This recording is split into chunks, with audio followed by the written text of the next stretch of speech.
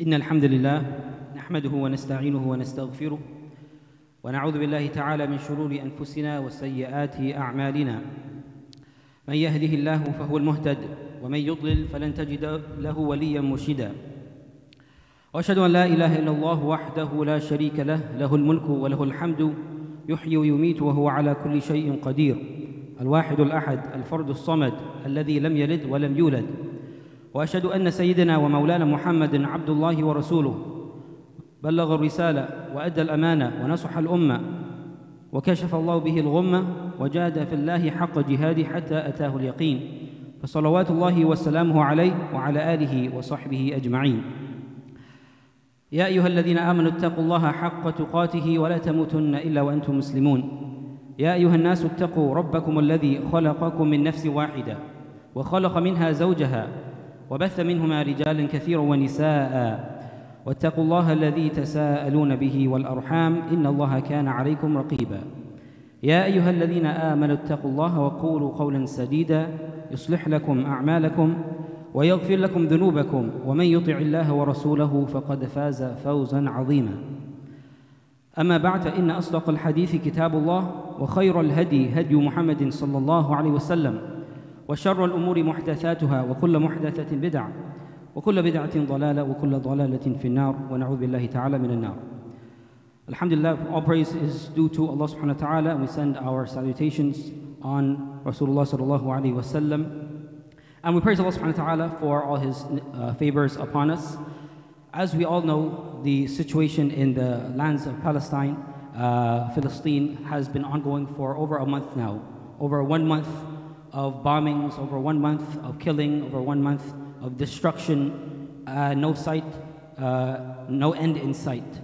And some people might feel a, a sense of defeat at this point that this is happening for over a month and the Muslims are not having any relief as of yet.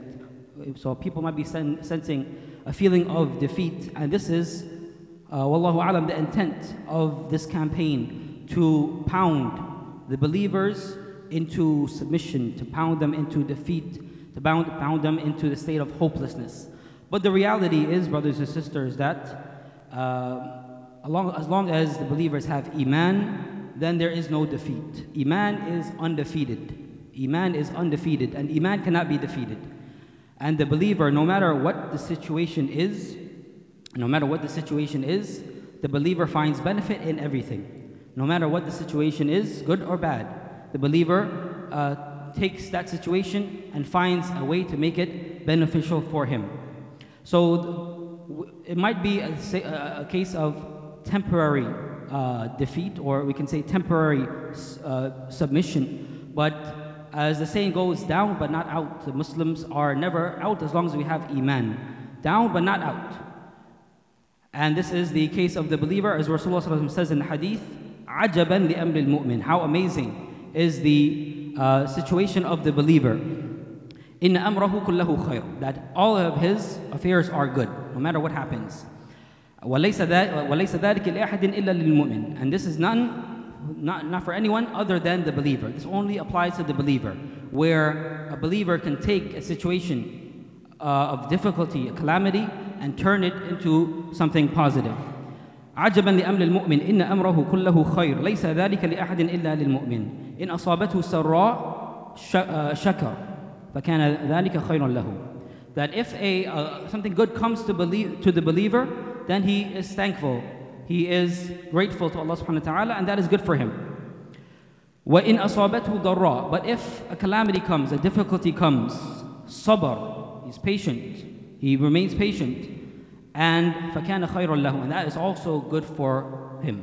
So no matter what happens to a believer, there's always a win-win situation. There's no losing for the believers. It's always a win-win. Whether the good comes, then they are thankful. When the bad or calamity strikes, then they are uh, patient, and this will be good for them. So, what is happening is an attempt to break the will of the believers, to pound them into submission and a state of despair, but this is not working, and it will never work. Will never work for the believers because the believers always have a win win situation. So, when a believer has this mentality, then no matter what the any, any outside enemy tries to do, nothing will be able to break the will of the believer. So how can you defeat a people? How could you defeat people who, uh, whenever, no matter what the situation is, they always praise Allah subhanahu wa ta'ala? The people who their homes are being destroyed, their family members are killed, they are being forced out of their homes and into different areas. Uh, and if you ask them, if you go to these people and you ask them, How are you? What are they going to say? Alhamdulillah. Even in, despite all of the situation. So, how could you defeat a people like that? Where no matter what has happened to them and you ask them, they will say, Alhamdulillah. All praise is due to Allah subhanahu wa ta'ala. It comes in the hadith that Rasulullah sallallahu alayhi wa sallam, كان رسول الله صلى الله عليه وسلم إذا رأى ما يحبه قال الحمد لله الذي بنعمته تتم الصالحات. When Rasulullah would see something that pleases him, something good, he would say, Praise be to Allah, the one who, by his blessings, good things are perfected. And when he would see, وَإِذَا رَأَى مَا يَكْرَهُ قَالَ الْحَمْدُ لِلَّهِ عَلَى كُلِّ حَالٍ But when he would see something that displeases him, then he would say, Alhamdulillah ala kulli hal. That we praise Allah on every situation. So this is the believer. That no matter what is happening, he's saying Alhamdulillah. So how could you defeat a people who have this mentality where they are they're being killed, they're being slaughtered, they are being bombed? And when you ask them, how are they? They will tell you, Alhamdulillah. You cannot defeat a people with this mentality. Uh, how could you defeat a people who, when they are threatened with the biggest armies of the world and the biggest, uh, the, the, the, the, the most highest technology and whatever the case is, and they fear only Allah subhanahu wa ta'ala. They don't fear anybody else but Allah subhanahu wa ta'ala. As Allah says in the Quran, الَّذِينَ قَالَ لَهُمُ النَّاسِ إِنَّ النَّاسَ قَدْ جَمَعُوا لَكُمْ فَاخْشَوْهُمْ It was said to the believers uh, during the time of Rasulullah that the enemies have gathered against you. They prepared a big army against you. إِنَّ النَّاسَ قَدْ جَمَعُوا لَكُمْ They've gathered all against you. فَاخْشَوْهُمْ So fear them. Be afraid of them. What did the believers say? What happened to the believers? فَزَادَهُمْ إِيمَانًا All that happened is that they increased in iman. إذا قال لهم الناس إن الناس قد جمعوا لكم فاخشوهم فزادهم إيمانا They increased in their iman and they said وقالوا حسبنا الله ونعم الوكيل And they said that Allah is sufficient for us and He is the best disposer of affairs. If you listen to uh, the slogans of our brothers and sisters in Palestine, you'll hear this slogan all the time. Hasbunallah wa ni'mal wakil. And that's what they're saying, despite what the situation is. So how could you defeat a people who, despite the threats of the most powerful armies coming against them, they say, Hasbunallah wa ni'mal wakil. You cannot defeat the people of that mentality. How, how could you defeat a people who they don't even acknowledge that when they're, uh, they, are, they, are, they are killed, they don't even acknowledge that those who have been killed are dead. They don't even acknowledge. They refuse to acknowledge and they deny that those who have been killed are dead. As Allah says in the Quran, ولا تقولوا لمن يقتل في سبيل الله أموات بل أحياء عند ربهم بل أحياء ولكن لا تشعرون. And Allah says in another verse, ولا تقولوا لمن يقتل في سبيل الله أمواتا بل أحياء عند ربهم يرزقون. do not say of those who have been killed in the path of Allah that they are dead. Do not say that. They are not dead. Rather, they are living but you do not perceive. In another verse, Allah says that they are being provided for by their Lord. So, how could you defeat people who don't even acknowledge that the people who have been killed are dead? How could you defeat people who, where they view calamities as uh, they take calamities in stride with dignity? إن تكونوا تألمون فإنهم يألمون كما تألمون وترجون من الله ما لا يرجون. Allah says in the Quran that if you feel pain and suffering, then know that the other side also feels that pain and suffering. But you have one advantage. وَتَرْجُونَ مِنَ اللَّهِ مَا لَا يَرْجُونَ But you, O believers, you hope in Allah subhanahu wa ta'ala what they do not hope for. So how can you defeat people who have uh, this mentality? How could you defeat people who, whatever calamity strikes, they all, they all they view it as a way of raising their levels and expiating of their sins and getting closer to Allah subhanahu wa ta'ala. ما يصيب المسلم من نصب ولا وصب ولا هم ولا حزن ولا أذى ولا غم حتى الشوكة يشاكها إلا كفر الله بها من خطاياه.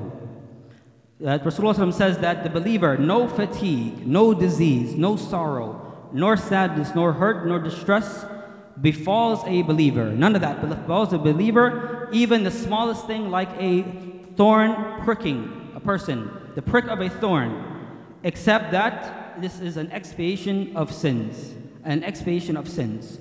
So, this is how the believers view calamities and view difficulties. So, if this is the mentality of a believer, then how is it possible for a person of that mentality to ever be defeated?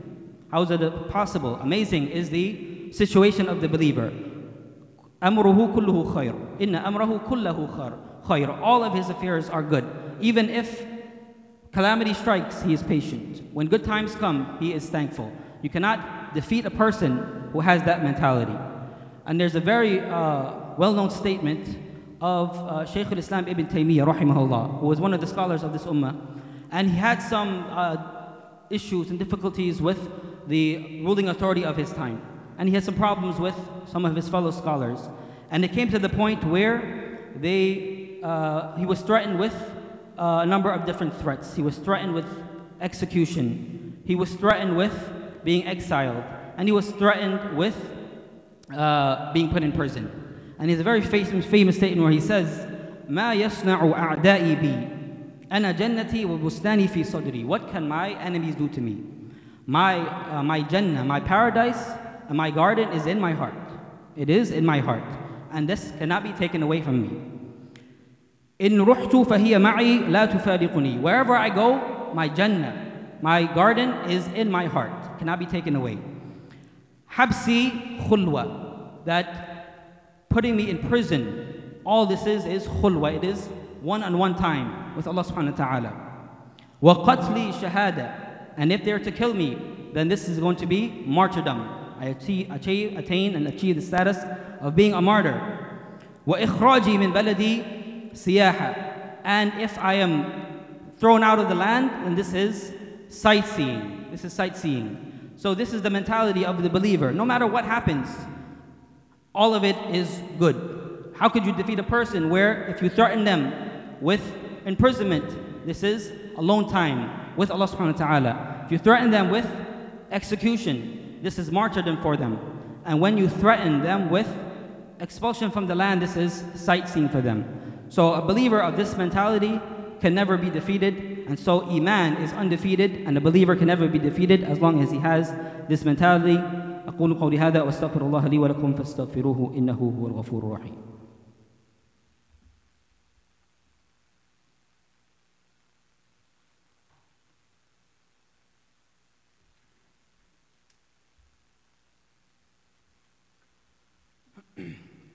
بسم الله الرحمن الرحيم الحمد لله رب العالمين حمدا كثيرا طيبا مباركا فيه والصلاة, والصلاة والسلام على رسول الله وعلى آله وصحبه أجمعين A believer with this mentality that no matter what happens, no matter what calamity strikes, no matter what difficulties come, a person who has this mentality can never be defeated, even if it looks like a defeat, even though it looks like a defeat. And once we change our mentality and we start to think this way, then this will allow us to navigate a lot of the difficulties and calamities that occur in daily life. Personal calamities and calamities that befall the ummah at large. When we change our mentality and we have this perspective that no matter what happens, Allah subhanahu wa ta'ala is with the believers and everything that happens is by the will of Allah subhanahu wa ta'ala and this is in some way beneficial and good even though we might not be able to see it. If we look at the seerah of Rasulullah we see that a number of incidents that might have looked as setbacks or defeats, but in reality they were victories. They looked like defeats, they looked like setbacks, but they were in fact uh, victories for the believers.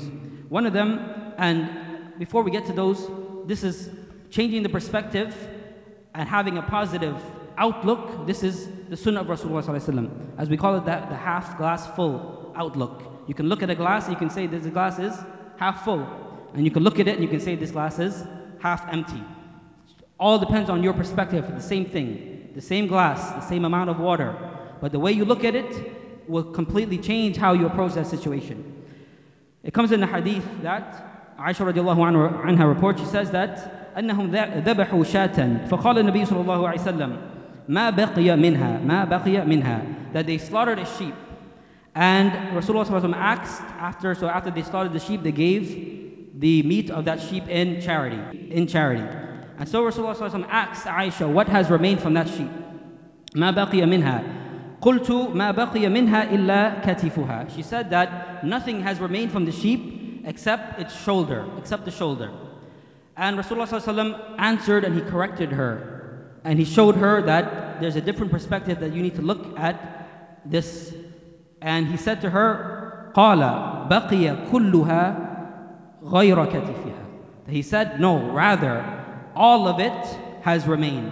All of it has remained and what is not there anymore is the shoulder. In other words, what was given in charity, what was given in charity, that is what's remaining. That is what is remaining. What we get to eat, that is what is gone. Because now that's for our own personal benefit. That's not going to benefit us in the hereafter. But what was given in the charity, that is what is remaining. بقي كلها, all of it has remained. غير كتفها. The only part that is that is uh, that has gone is the part that we are going to eat because we are not going to get the rewards for that, like we get the rewards for what was spent in charity. So, this is the change in perspective that is needed to be able to navigate calamities and be able to navigate difficulties, personal and for the ummah at large.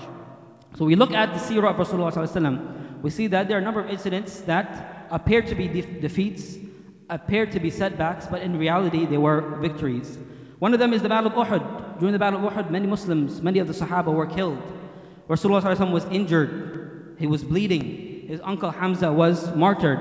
And a number of different Sahaba were killed. But the way that Allah subhanahu wa ta'ala describes the Battle of Uhud and the way Rasulullah describes the Battle of Uhud, we see a different perspective.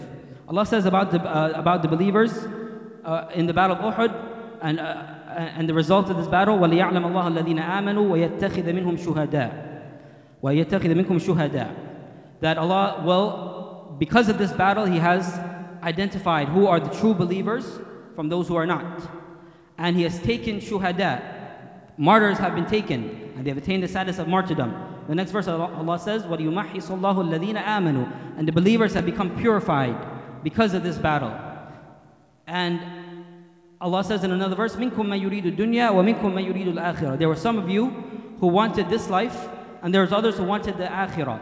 And this became clear when it was not clear from before. We didn't know who, as one of the companions says, that before this verse was revealed, we didn't know that there were people amongst us who wanted the dunya only. We thought everybody was like us, wanted the akhirah. But then when this battle came, then it started to separate who's, who wants the dunya and who wants the akhirah.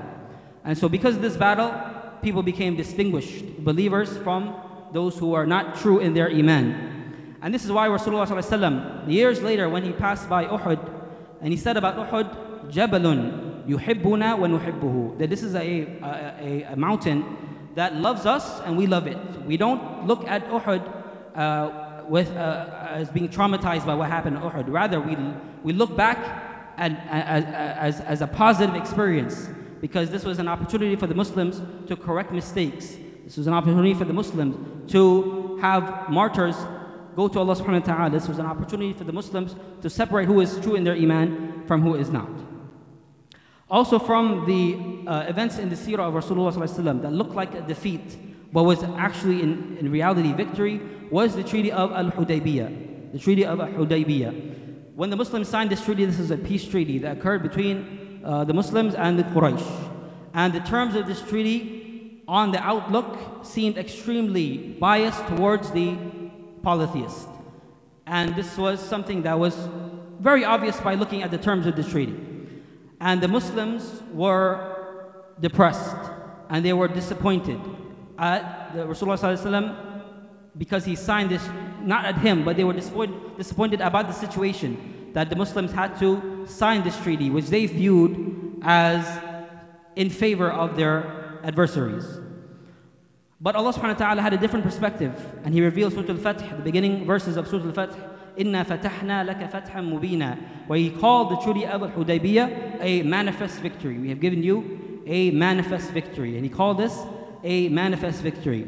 So this was the Treaty of Hudaybiyah. And this treaty, although it looked on the outset to be against the believers, it ended up being something very favorable for them. Because with a peace treaty, the Muslims were able to focus on da'wah. Rasulullah was then able to send out letters and send out emissaries, messengers to all of the different localities and, uh, and uh, different villages and countries and kings and leaders when he was not able to do that before. And he was able to focus only on da'wah without having to worry about defending the Muslims against possible attacks. So now they had peace, now he was able to focus his da'wah on the surrounding areas inside and outside of Arabia. And because of that, many people entered into Islam more so than all of the previous years before because of the fact that they had a situation of peace, they could focus on da'wah, and they were able to concentrate their efforts on calling the people to Islam without having to worry about fighting and defending themselves. Also, from the events of the seerah, which seemed to be against or setbacks or seemed to be defeats against the Muslims, but was in fact uh, presented in a different way, was the Battle of Mu'tah. The Battle of Mu'tah. This was a battle in which Rasulullah sent an army, a small army, very small army, to the lands of the Romans. And there they had a battle in which they were outnumbered by a large amount. Only 3,000 Muslims, reports indicate over 100,000 of the enemies. And Rasulullah sent this army and he appointed his cousin Ja'far ibn Abi Talib as the leader. And he said, in Qutila, or first he, he appointed his adopted, former adopted son-in-law, Zayd ibn Haritha, uh, as the first leader. And he said, in Qutila Zaydun fa Ja'far, that if Zayd is to be killed, then Ja'far is to take over. وإن قتل جعفر فعبد الله ibn Rawaha. And if uh, Ja'far is to be killed, then Abdullah ibn Rawaha will take over. And the battle occurred and the Sahaba who were mentioned in this as the being the leaders, appointed leaders, they were all killed in this order. First, uh, Zayd ibn Haritha was killed, and then Ja'far ibn Abi Talib took the banner, and then he was killed, and then Abdullah ibn Rawaha took the banner, and then he was also killed. And the Muslims were then scrambling, who are we going to put in, in charge? And they appointed, they got together and they put Khalid ibn al-Walid as the commander of the Muslim army. So he took the reins of the Muslim army and he realized that this is a situation where if we don't retreat, then we're all going to perish. So he looked out for the best interests of the Muslim army and the Muslim Ummah at large and the far reaching consequences, and he decided that it would be better if we pull back. And so he organized a tactical retreat, and they retreated successfully back to Al Medina. When they got back to Medina, when they got back to Al Medina, the people were upset at, at, at this army. And they started to call them uh, cowards. And they said that you guys have run away, that they are furrar. You guys have run away from the battlefield. When Rasulullah heard this, what did he say? He said, Laysu bil furrar. They are not uh, those who have fled. وَلَكِنَّهُمْ الْكُرَّارُ But they are those who will return. They will come back, inshaAllah. وَلَكِنَّهُمْ الْكُرَّارُ inshaAllah. No, they're not, they haven't fled. Rather, they, are, they have temporarily come back and they will return. And that's exactly what happened. They returned, the armies returned, and within 10 years, that entire land became Muslim lands during the time of the Khilaf of uh, Abu Bakr and Umar radiallahu anhu. So this is how the uh, Rasulullah looked at this situation. No, it was not, they didn't flee. Rather, they did something that is beneficial in the long run for the Muslim Ummah, and this paid off as the Muslims did return to this land and they conquered this land. So this is the mentality of uh, believers that situations might look to be defeats, it might look to be uh, setbacks, but in reality, we don't know what Allah has in plan. But we put our trust in Allah subhanahu wa ta'ala and we say, Allah wa ni'mal wakil. That we, uh, we put our trust in Allah subhanahu wa ta'ala and He is the best disposer of our affairs. So we have to change our perspectives and this will allow us to navigate all of these types of calamities, personal calamities, and calamities that befall the Muslim Ummah. We ask Allah subhanahu wa ta'ala to grant relief to our brothers and sisters in Palestine we ask them to, get, to get them out of the situation that they are in, to provide for them in, in ways and with means that they did not expect in the situation uh, in Philistine and across the Muslim world at large. اللهم أصلح أحوالنا وتولى أمرنا وارحم موتانا واشف مرضانا وتقبل شهداءنا. ربنا آتنا في الدنيا حسنة وفي الآخرة حسنة وقنا عذاب النار. ربنا ظلمنا أنفسنا وإن لم تغفر لنا وترحمنا لنكونن من الخاسرين. ربنا آتنا في الدنيا حسنة وفي الآخرة حسنة وقنا عذاب النار. إن الله وملائكته يصلون على النبي. يا أيها الذين آمنوا صلوا عليه وسلموا تسليما.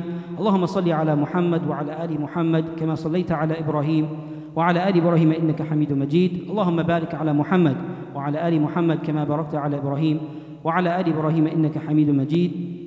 إن الله يأمركم بالعدل والإحسان وإيتاء ذي القربى وينهى عن الفحشاء والمنكر والبغي يعظكم لعلكم تذكرون. فاذكروا الله يذكركم وادعوه يستجب لكم ولذكر الله أكبر الله يعلم ما تصنعون. أقيموا الصلاة.